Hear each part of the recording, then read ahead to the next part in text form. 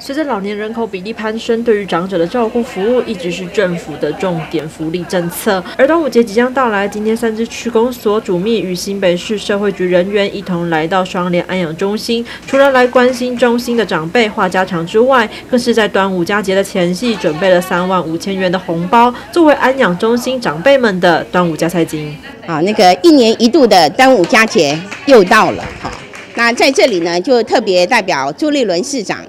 来双联安养中心献上三万五千元的加菜金，也在这边特别祝福我们这里所有的长辈们都健康、幸福、喜乐。在主秘的带领之下，参观了长辈们自发性报名的多元课程。现场的长者更是向主秘来介绍课程的内容。而对此，主秘也表示，双联安养中心是三支区指标性的长者照护中心，今天带来关心与加菜金，希望长辈们都能够有个愉快的端午佳节。我们很感谢，就是呃主秘今天来哈，代表我们朱市长，还有我们林区长到安养中心来致赠长辈哈佳节的加菜金。那也特别给我们安养中心的长辈哈，有做这样的一个关怀跟祝福，让长辈都非常的窝心，谢谢，很谢谢。而双联养中心表示，全中心共有四百多位的长辈以及全体同仁都很感谢三支区公所以及社会局人员的关心以及照顾，佳节前夕的温暖祝福，让中心里的长者都能够在地乐活，就地安老，